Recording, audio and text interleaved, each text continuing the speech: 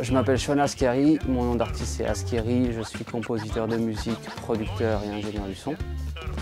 Et alors en fait euh, j'ai commencé simplement euh, par le DJing quand j'avais euh, 14 ou 15 ans je crois.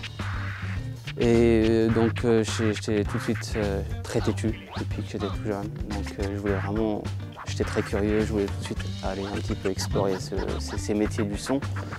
Et j'ai convaincu mes parents bah, de, m'inscrire dans une école d'ingénieur du son, la SAE, là où on est. Et tout a démarré de là.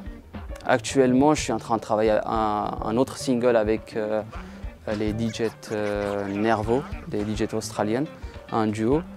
Euh, j'ai eu un remix qui est sorti il y a deux jours sur Big Beat Records.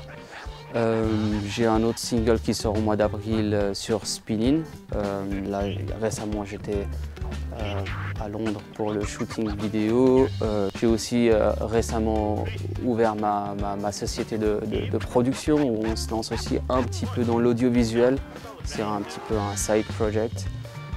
sinon, essentiellement, c'est production pour des gens et en même temps pour moi. voilà.